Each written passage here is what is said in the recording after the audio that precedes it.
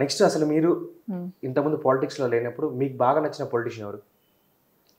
First నుంచి అయినా కానీ నాకు అంటే పర్టికులర్ పొలిటీషియన్ అని కాదు. రాజశేఖర్ రెడ్డి గారు అంటే నాకు చాలా అభిమానం. ఎందుకంటే నేను సిక్స్త్ క్లాస్లో ఉన్నప్పుడు చచ్చిపోయినారు. అయినా కానీ అంత చిన్నప్పుడే నేను బాగా కనెక్ట్ అయినా. ఎందుకంటే చాలా అభివృద్ధి ఆయన హయాంలో రాజశేఖర్ రెడ్డి గారి హయాంలో చాలా మంచి పనులు చేసిండ్రు. అందుకోసం రాజశేఖర రెడ్డి ఇష్టం. తర్వాత?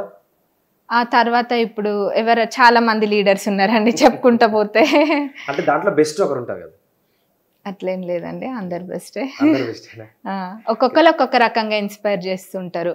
కాకపోతే నేను చిన్నప్పటి నుంచి కూడా కాంగ్రెస్ పార్టీ మీదనే అభిమానం. ఎందుకంటే మా తాతగారు ఊర్లో ఇట్లా పెద్ద అన్నమాట ఊరికి పెద్ద.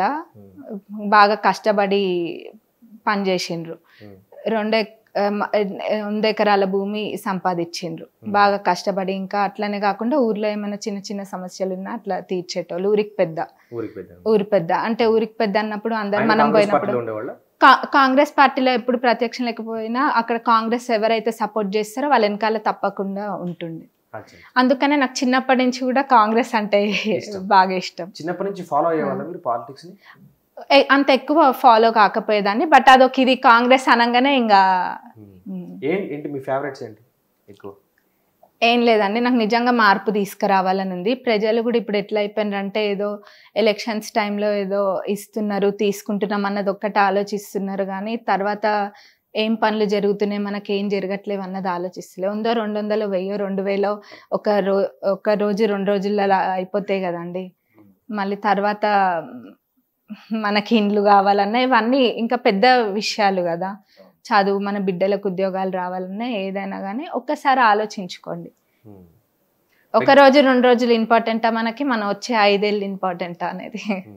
మీ హాబీస్ రెగ్యులర్ హాబీస్ ఏంటి? నాకు పెద్ద హాబీస్ ఏం లేవు. నేను US లో మా అత్తమ్మ వాళ్ళ బిజినెస్. మా husband కి ఒక బ్రదర్ ఒక సిస్టర్. వాళ్ళిద్దరు డాక్టర్స్. మా హస్బెండ్ నేను ఇంకా మా వదిన వాళ్ళ హస్బెండ్ అంటే మా అన్నయ్య. ముగ్గురము బిజినెస్ చూసుకుంటాం మా అత్తమ్మతో పాటు కలిసి. బిజినెస్లో ఉన్నారు ప్రెసెంట్ ఇప్పుడు పాలిటిక్స్లోకి వచ్చారు.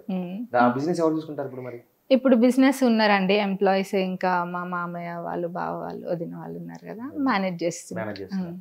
ఓకే.